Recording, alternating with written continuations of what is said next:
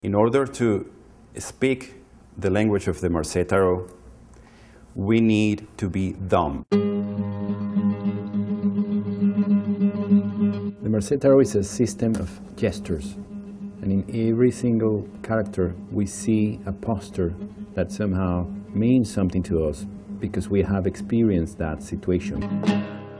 He really has a way of turning the ordinary into poetry. We'll start talking about the interactions between the pictures and what's happening. And what you do in your mind, you start connecting it to your life and the story comes out. He is connected by a cord to those cards. He is walking tarot.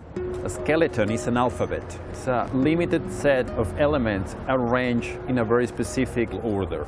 But if we were to rearrange the elements, we will get a different creature or when we rearrange a tarot deck, we get different messages. Enrique seems to be like a bad boy, and I think we need more people like that. The connection between the tarot and the Kabbalah, nonsense. The connection between the astrology and the tarot, made up. The tarot came from Egypt, that's nonsense. Carl Jung is the most popular author in the tarot world. He wrote two lines, look at the cards and describe what you see.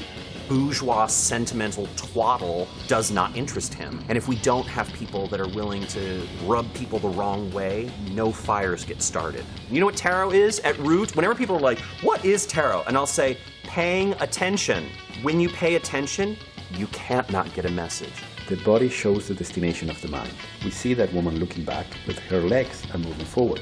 She's suggesting, I'm done with this. It's as dumb as simple as that.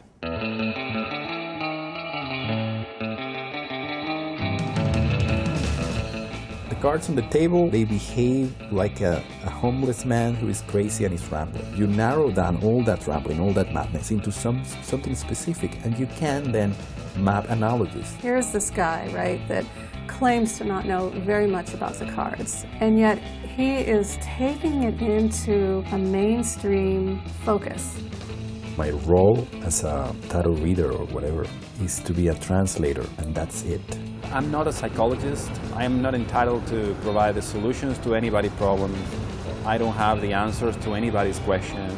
I don't know anything about anything. The only thing I can do is to show you the cards and tell you these cards are connected and then you take that, go home, you know, call me in the morning, I don't know.